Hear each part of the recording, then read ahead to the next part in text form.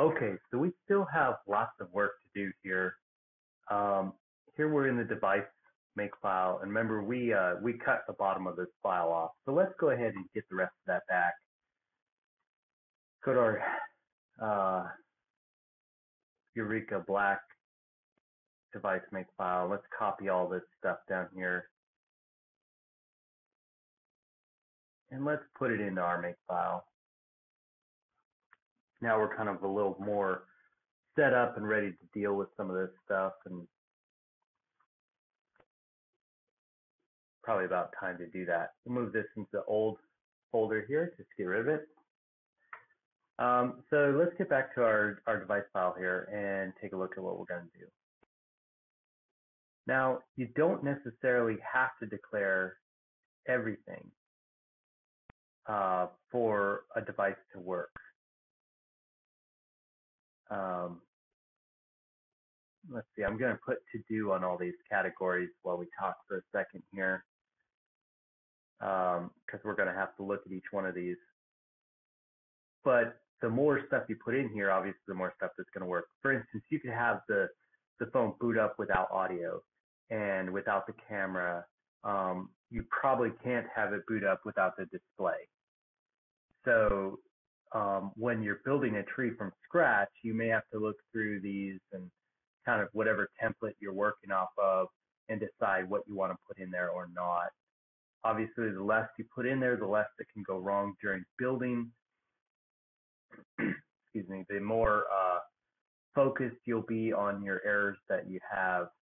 However, um, obviously, the more you put in here, the more functional it's going to be provided the stuff you put in here works the key is finding, making sure you find the right stuff to put in here. Um, it's it's rather helpful for us because we're taking two very similar phones, so we're going to be able to take a lot of the same material, and hopefully it's going to work. Um, and we'll just have to see. But right now we're looking at uh, you know um, what's here in this device make file. So we've come to the end of the file. And let's take a look at this Wi-Fi for a moment. If we look at the Wi-Fi, uh, you see in our, uh, you know, donor device, it has a Wi-Fi folder, it has a bunch of files in here, configuration files and that sort of thing. Um, we're going to take a look here on the web and say what uh, what Wi-Fi is in our system on a chip and some error there. Okay, so we know that our system on a chip that we bookmarked here has this built-in Wi-Fi. And what's great about that is the donor phone that we're borrowing from this Garlic, this Yureka Black, has the same system on a chip. So it's going to have the same Wi-Fi, or at least should. now, it may be that there's some setting or something.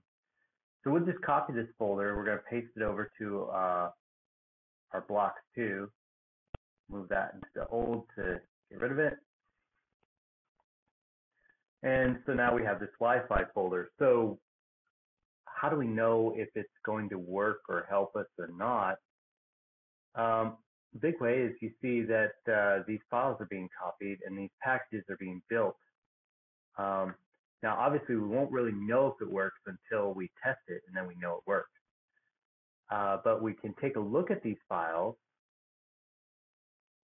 and see if, if that, you know, is at all useful. So we go to our BLU phone that we downloaded the whole system and we can uh, search for any of these files. So for instance, we'll just pick one, that's wcnss config.dat We'll just hit the search button, we'll look for it, and there it is, pops right up. So we open that item location, we see system, etc., firmware, wireless LAN, uh, Prima, and let's see, what am I looking for here? Um, yeah, let's install Diffuse.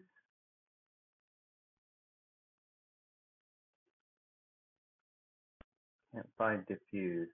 Why can we not find diffuse? Um, Diffuse is a really useful program.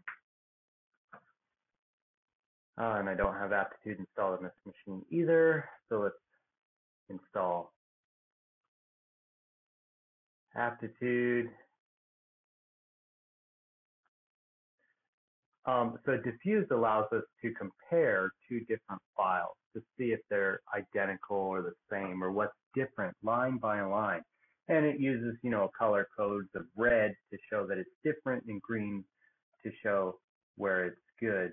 And so, um, you know, really handy programs. Let's search diffuse.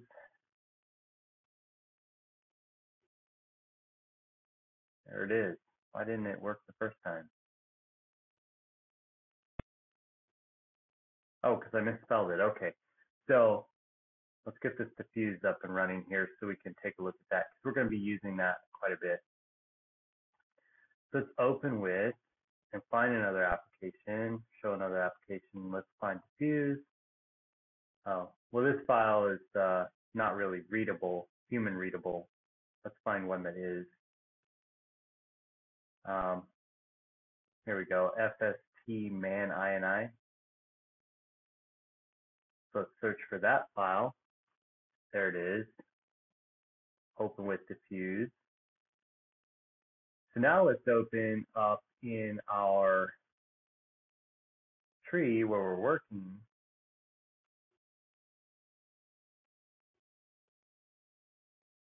The same file and we see they're identical. Notice there's, there's no red there.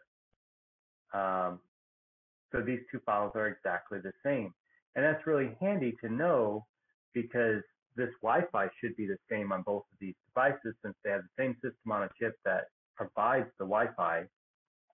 So I think in this case we can we can just take this to do away and use that just as it is. So um, essentially that's what we're doing. We're going through, we're figuring out how do we get the files that we need Let's jump into board config.make and look for Wi-Fi in here. So to see if that also needs to be changed. And since we're just using all the same Wi-Fi stuff, let's just take this to do out and use that.